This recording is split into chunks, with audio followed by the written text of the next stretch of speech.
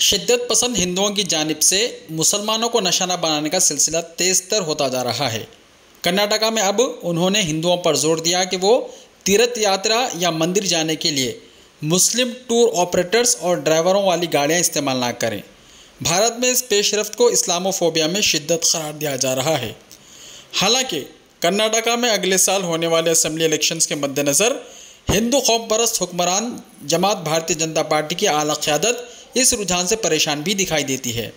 जनूबी भारतीय रियासत कर्नाटका में हलाल मसनूआत का बाइकाट करने, मस्जिदों में अजान और स्कूलों में हिजाब पर पाबंदी के मुतालबे के बाद शिद्दत पसंद हिंदू तंजीमों ने अब हिंदुओं को मुस्लिम टूर ऑपरेटर्स और ड्राइवरों वाली गाड़ियों पर मंदिर या तीरथ के लिए ना जाने की अपील की है।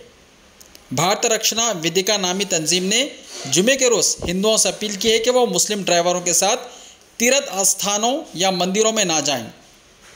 उन्होंने मुस्लिम ट्रांसपोर्ट कंपनियों की मिल्कियत वाली गाड़ियों को इस्तेमाल ना करने की भी अपील की।